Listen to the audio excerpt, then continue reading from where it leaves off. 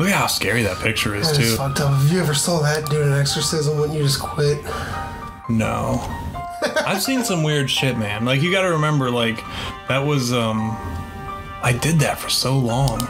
Like I saw some real interesting stuff, and uh, so something like that would probably um, not be that big a deal to me. I have to sneak off camera so that I can vape. I don't want everyone to know that I'm gay. Also known as Slender Man. Drink.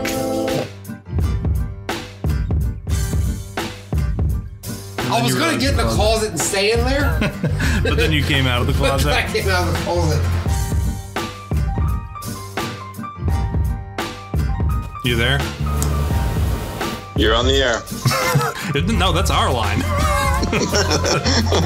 Oh, What's the weirdest conspiracy that you that you think is real? Like the one that like, you know, like if I were to say I think the earth is flat. You know, I Yeah. don't. I don't. Um but they make a they make a compelling argument. But like, if you let's be honest. okay, climb to the top of Everest, which I have not done, and you can see the curvature of the Earth. I mean, so come on. you can see the curvature of the earth from a ship you I know, know, like you can from seven nautical miles out but the the flat earthers make a compelling argument i'll give them that like, what What's the argument? I don't even listen to it. Uh, you you have to listen to it. Maybe we'll do a whole episode Okay. on that. But it's it's a lot of fun to listen to them because you know you sit there and unless you're someone, I mean, you could sit there and debate them all day, But and it's it's pretty simple. Here's the thing: if the flirt, if, if if the if the world was flat, you would eventually travel to a point where there'd be no more world. Correct?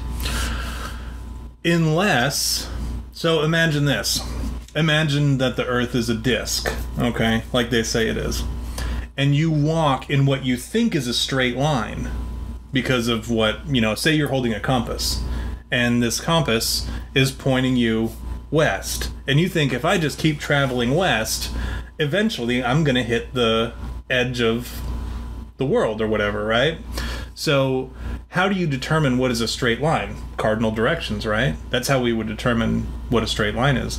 Now, if the polar uh, north or magnetic north is telling us that north is that way, and we're trying to head west, and we're following it, it's going to keep pointing north, right? If we're heading west, even if we're traveling in kind of a circle. And how do we determine if we're going straight? We're humans we you know we make errors it's impossible for us to know if we're going straight we know if we're going straight-ish because we don't veer one way or the other but have you ever tried walking and you realized you were kind of drifting? So i think that's the argument. Is the only way we really know that uh, that we're traveling in a straight direction is with a compass and making sure we're shooting the right azimuth. So I'm assuming these people believe we have not been to space. I, I, I don't know. I and again, like I said, you have to like listen to them argue. Some of them say that we have. Some of them say that we haven't. Some of them say that the images are fake. Some of them say that they uh, that even the images prove that the Earth is flat. I will it's say really this weird. though: why is it that we can see stars at night, but when they're in space, they every vi- every video picture you have in space, You don't really see you stars. don't see the stars. Um, I think just because the stuff, like, okay, when you're in space and you're looking and you see the Earth, right? And you're, say, you're in the ISS, so the International Space Station. What takes up most of the your field of vision? You know what I mean? Earth, right?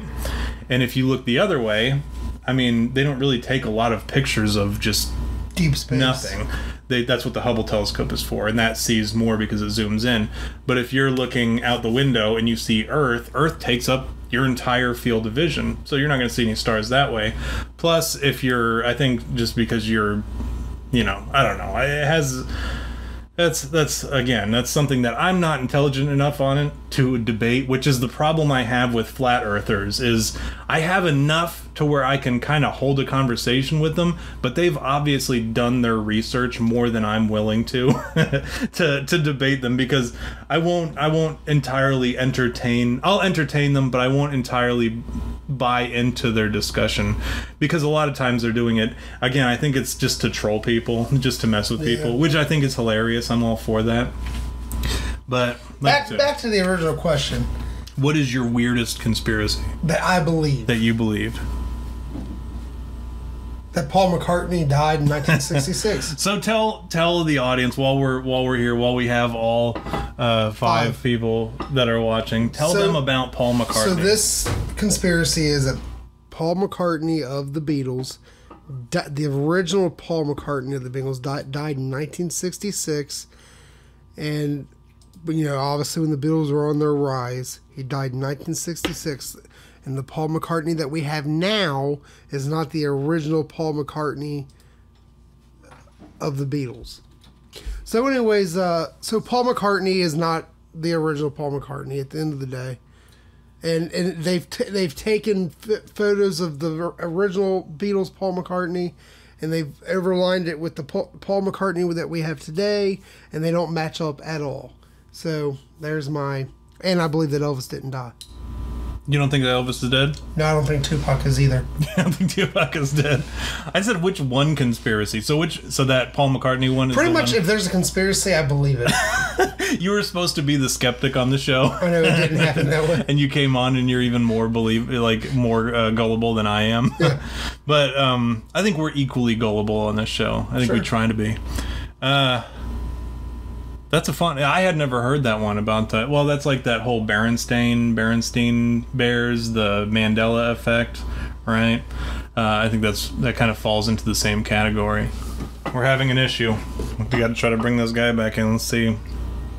So that dude, uh, so that dude with the with the name that shall not be mentioned, as he was referred to, he reported this guy, Mike from Manitoba. I wish I knew how to unblock people. Well, he got blocked by Periscope. Yeah. So what happened was Did you go to unblock him? No, it won't let me unblock him. Yeah, that, that troll that was in here, I guess dude told him to read a book.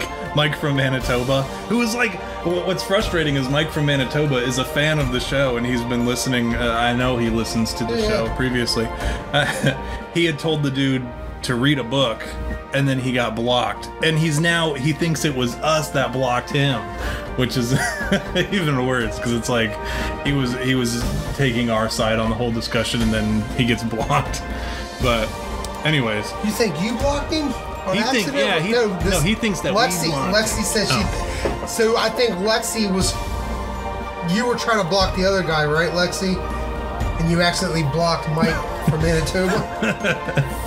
ah, all right. Well, he'll he'll Yeah. he'll get over it. We'll get him back on here somehow. But go ahead, continue with the Paul McCartney.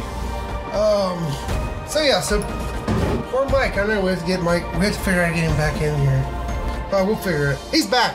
He's Okay, back. there we go. Okay. He's back. The question is, can he comment? If you can comment, Mike, sh- shoot us something. He could share some hearts. But um uh Yeah, Mike, if you missed it, she was trying to block that other guy and she accidentally blocked uh hit blocked over you. Um We were just talking about you, Mike. So if your ears were burning, it was because we were talking. we we, were just talk- spent the last couple minutes trying to figure out how to get you back on the show. in a comment.